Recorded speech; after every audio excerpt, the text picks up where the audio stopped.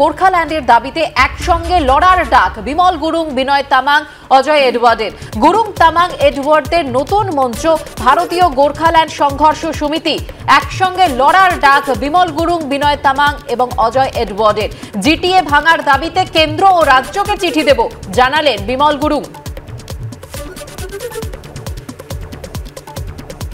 भारतीय गोरखालैंड संघर्ष समिति, ये चीज़, भारतीय गोरखालैंड संघर्ष समिति का नाम आज घोषणा हुआ और नेशनल कमेटी करेगा ना?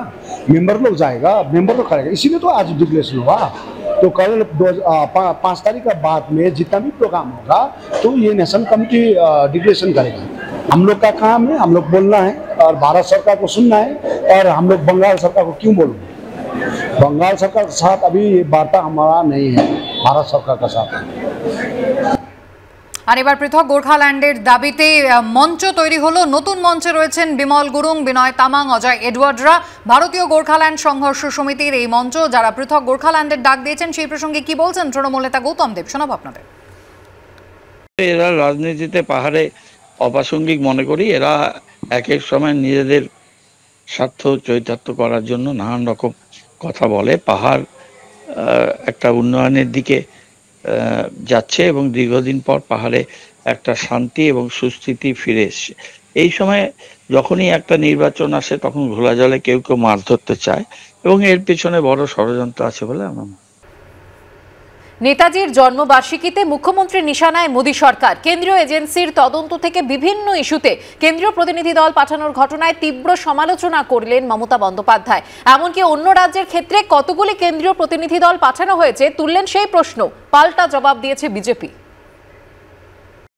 আজকের দিনে দেশ বড় অসহায়। বাংলায় আমরা কোন রকম সামলাচ্ছি। আপনারা জানেনও না হয়তো তিনশো পঁয়ষট্টি দিনই কিছু না কিছু আমাদের ফেস করতে হয়। নরেন্দ্র মোদী দেশকে এগিয়ে নিয়ে যাচ্ছেন। ওনার একটু পড়াশোনা করা উচিত। বিখ্যাত পত্রিকাগুলোতে নরেন্দ্র মোদী সরকার সম্বন্ধে ভারতবর্ষের অর্থনীতি সম্বন্ধে কি লেখা হচ্ছে মুখ্যমন্ত্রীকে পড়তে বলুন। উপলক্ষ নেতাজি সুভাষচন্দ্র বসুর একশো সাতাশতম জন্মবার্ষিকীতে রাজ্য সরকারের অনুষ্ঠান। সেখান থেকেই কখনো নাম করে কখনো নাম না করে মোদী সরকারকে বেঁধলেন মুখ্যমন্ত্রী। যা নিয়ে পাল্টা আক্রমণের পথে হাঁটল বিজেপিও। স্কুলের নিয়োগ গরু কিংবা কয়লা পাচার থেকে চিটফান্ডের মতো একাধিক মামলা তদন্ত করছে সিবিআই ইডির মতো কেন্দ্রীয় এজেন্সি। এই পরিস্থিতিতে সোমবারও কেন্দ্রীয় এজেন্সির ভূমিকা নিয়ে সরব হয়েছেন মমতা বন্দ্যোপাধ্যায়। অনেকে এজেন্সির ভয়ে পালিয়ে যায়, আমরা পালাই না। আরে করো না ভাই, যা আছে সব নিয়ে নাও। কিন্তু দেশটাকে তো বেঁচে দিও না, দেশটাকে রক্ষা করে দাও। যত এজেন্সি পারো লাগাও, গণতন্ত্রে একটা সংবিধান আছে।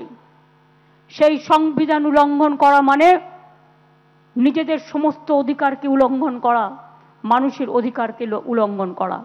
মানুষ জানেন এই মুহূর্তে তারা কীরকম আছেন। আজকে প্রান্তিক মানুষ পশ্চিমবঙ্গের, তাদের নিজেদের জীবন যন্ত্রণা নিয়ে দশ বছর ধরে তৃণমূলকে স্পর্শ করেছে। তারা নিজেদের অভিজ্ঞতা থেকেই মুখ্যমন্ত্রীর এই উক্তির জবাব দিয়ে দেবেন। প্রধানমন্ত্রী আবাস যোজনায় দুর্নীতির অভিযোগ খতিয়ে দেখতে দফায় দফায় রাজ্যে আসছে কেন্দ্রীয় দল। এছাড়া মিড ডে মিল এবং একশো দিনের কাজে নজরদারির জন্য এ রাজ্যে প্রতিনিধি দল পাঠাচ্ছে মোদী সরকার। আর এই নিয়েও সোমবার সমালোচনা শোনা যায় মমতা বন্দ্যোপাধ্যায়ের গলায়। মানে আরশালা কামড়ালেও সেন্ট্রাল দল। কতগুলো সেন্ট্রাল দল পাঠিয়েছে কমাস দু তিন মাসের মধ্যে? কত পঞ্চাশের বেশি হবে? কটা পাঠিয়েছে উত্তরপ্রদেশে? ক্যান নট বি ডিসক্রিমিনেটেড কথায় কথায় বাংলাকে ডিফেম করা। আর নিজেদের বেলায় সাধু।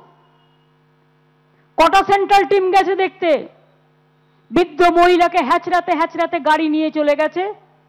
কটা টিম গেছে সেন্ট্রাল টিম দেখতে? স্টুডেন্টকে হাঁচাতে হাঁচড়াতে নিয়ে গেছে। উত্তরপ্রদেশে তো চুরি হয় না।